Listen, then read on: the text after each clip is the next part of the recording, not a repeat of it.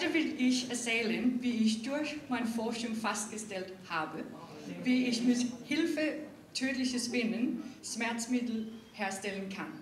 Aber, wie Sie hören können, ist mein Deutsch nicht so gut. Und ich bin mir sicher, dass Ihr Englisch besser ist als mein Deutsch.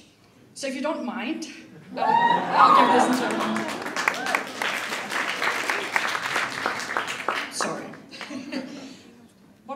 You understood that I just said is that today I'm going to tell you about how we can, how spiders can make painkillers, or a bit more precisely how we can make painkillers out of the venoms that the spiders contain.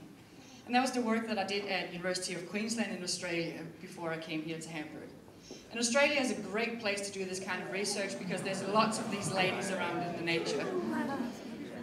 When I say little ladies, it is the size of uh, like that, so we can decide if it's little or not. Um, these spiders, they don't kill their prey or their food with webs like the little spiders do. They kill them with their mere size and, and the potent venom that they have. Um, so to do the research on these kind of spiders, obviously we need to be able to get the venom out of them. So how do we do that? We milk them. So if you look at a spider, on the head in front, there's the venom teeth. If you flip it over, if you're brave enough to do that, you can see the venom teeth sticking out in front. What you do to milk them, you grab the spider, you hold on tight, and you put the venom teeth over a small epi. Then you can stimulate the teeth with a small battery, and that stimulation makes the venom flow out of the teeth into the tube. What I also hope you can see on these pictures is that these are not my hands. I'm actually afraid of spiders.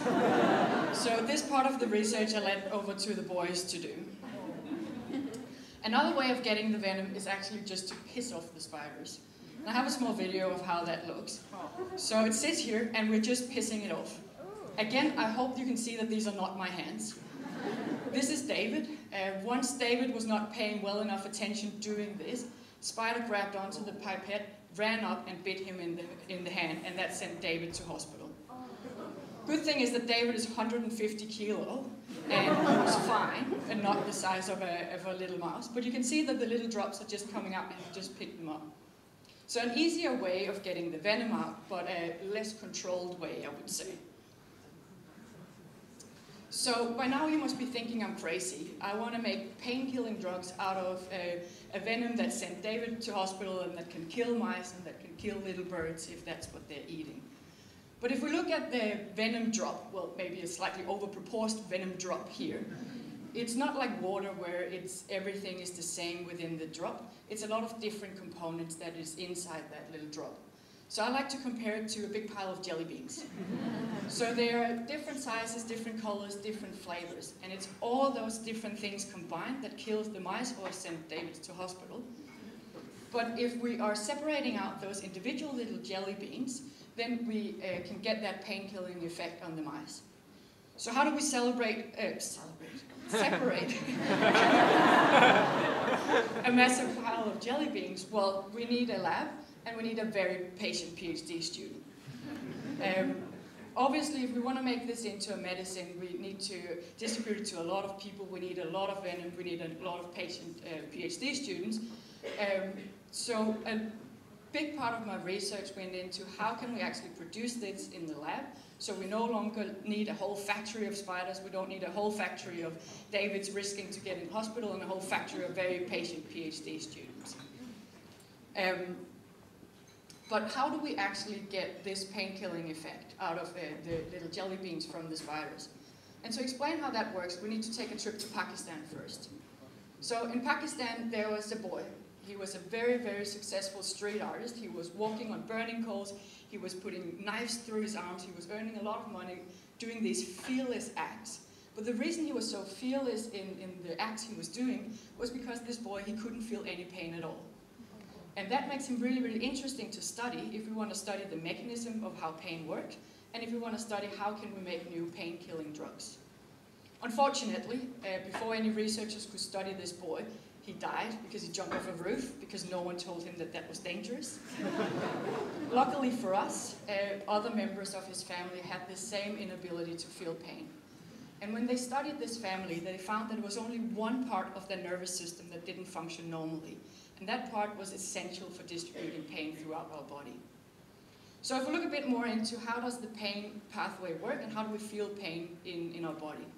So this is if we strip me off of my skin, this is what I look like. So we have a lot of muscles and we have a lot of nerves going through from the toes up to the brain from the hands. And that's how we feel everything. We feel pain, but we also feel that it's itchy or it's warm or I'm moving my muscles. But uh, let's say I slap you with a hammer. That will open some uh, doors in our nervous system, and those doors will allow the pain signal to go through and into the brain where we can feel the pain.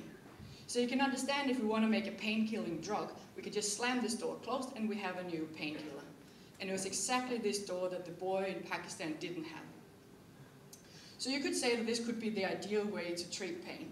The challenge is that in the body we have so many doors some of them are the red ones that distribute pain through our body, but some of them are blue, and they are the ones that are responsible for the beating of our heart. So it's therefore really important that if we want to make a pain-killing drug, that we only target the red doors and leave the blue doors completely untouched, because we don't want to develop a pain drug that then have a side effect of death. um, and that's where the spiders and the jelly beans come into play, because that's one of the things that they do extremely well. So they do extremely well just closing the red doors, but leaving the blue doors completely untouched. So that's very well, but how do we know which color jelly beans, which flavor we need to use? And for that, we need to be able to uh, artificially make the nervous system in the lab. And that was another big part of my research, where I can uh, make that. For that, we need another animal. We need these little froggy ladies. But we actually don't need the whole frog, we only need their eggs. Uh, so what we do is that we put them to sleep, cut them open, we steal their eggs, stitch them back up, we put them back in the tank, and then we have our dish of eggs. This was one of the parts that I hated most about my PhD, that these poor ladies had to wake up with my bad stitches in their stomach. So let's just uh, forget about that for now and focus on the egg. What's really cool about these eggs is that they behave exactly like a human cell. So in our, our, body we have millions and millions of cells, but they're very, very small. So we need microscopes to study them. But these eggs, like they can lie on the, on the front of your fingers. So they have a lot more manageable size. Obviously they are not human cells, so we'll, we will need to give them the human DNA. We can then grab uh, different kinds of DNA and we I grabbed the one from the nervous system. So after a few days, this egg will now behave like um, the human nervous system, and we can now study those doors in, in isolation. So if uh, to check the nervous um, signals, we put electrodes into these eggs, because actually the nerve signals that we are sending through our body is actually small electrical currents.